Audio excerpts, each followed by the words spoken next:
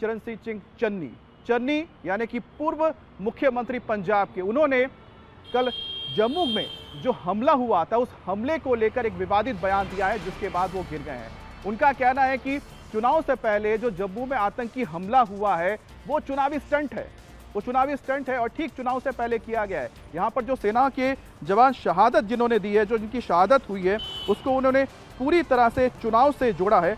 तो ऐसे में बड़ा सवाल उठता है कि आखिरकार कांग्रेस के नेता इस तरह का बयान क्यों दे रहे हैं और ठीक चुनाव के दौरान उसे जोड़कर क्यों दिखा रहे हैं? कि ये स्टंटबाजी हो रही है, हमले नहीं हो रहे। पिछली बार भी जब इलेक्शन आते हैं तो ऐसे स्टंट खेले जाते हैं और बीजेपी को जिताने का जिताने का संविधान तैयार किया जाता है।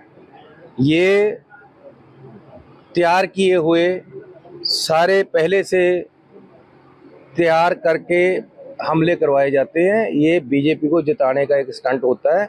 इसमें सच्चाई नहीं होती। लोग मरवाने और लोगों के लाशों पे खेलना ये बीजेपी को आता है।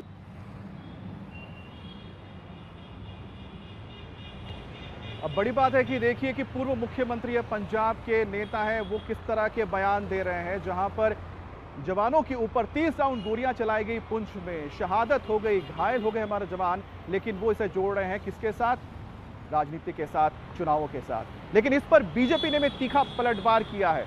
बीजेपी की ओर से कहा गया कि खासतौर पे नेता, उनके और केंद्रीय मंत्री अनुराग ठाकुर ने कहा कि अगर आप पास में देखते हैं, इकहत्तर की लड़ाई, पैंसठ की लड़ाई, क्या ये भी जो लड़ाई हुई थी, ये भी क्या सारे स्टंट थे?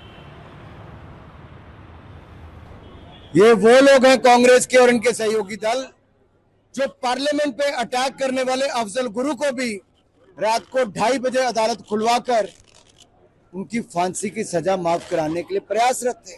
कांग्रेस के लोग वो हैं जो टुकड़े टुकड़े गैंग जो भारत का नामो निशान मिटा देना चाहती है, उनको भी अपने राजनीतिक दल में शामिल करवाते हैं और पार्टी की टिकट देते हैं।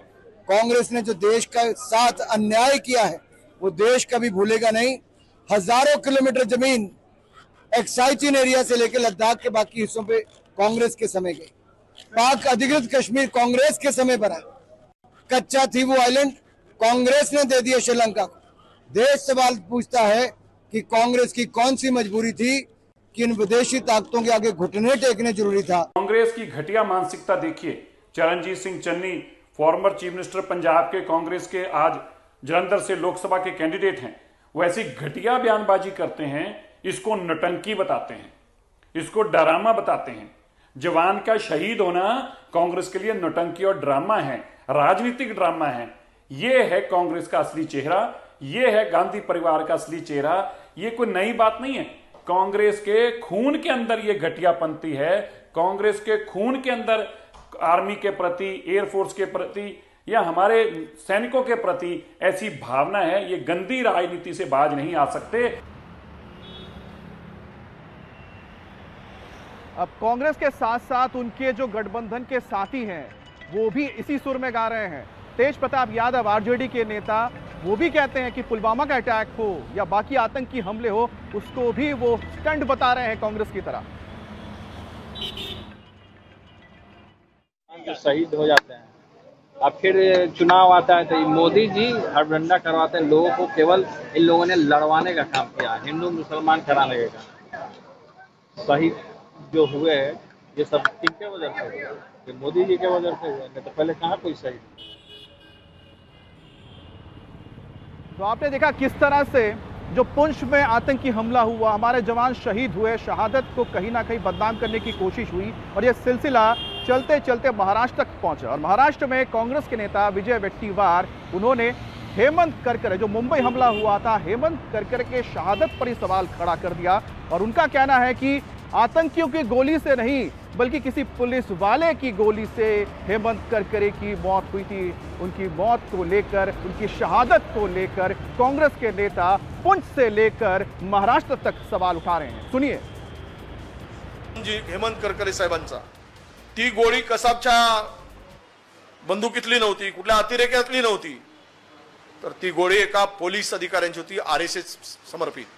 त्यावेळेस ते पुरावे लपवले लपवणारा देशद्रोही कोण असेल तर तो उज्ज्वल निकम आहे.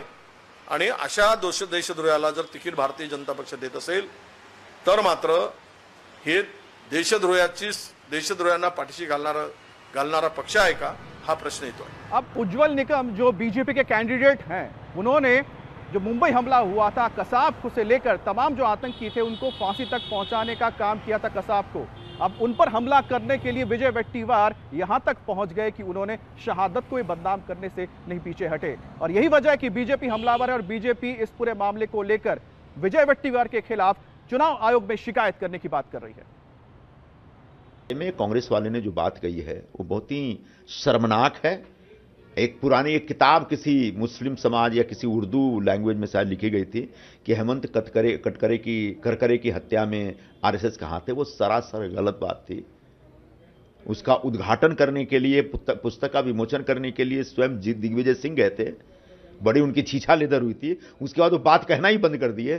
शायद उन्हीं दिग्विजय सिंह से प्रेरणा लेकर के बटट्टीवार जी ये बकवास कर रहे हैं।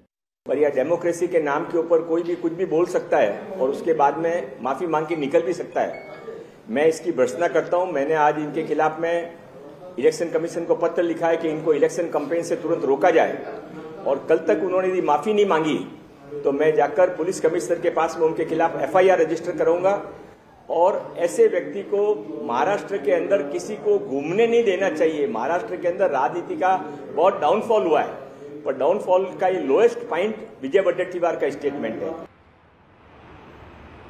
तो जहाँ उज्जवल निकम को लेकर विजय वेट्टीवार ने इतना बड़ा बयान दिया तो उज्जवल निकम भी पीछे रहने वाले नहीं थे।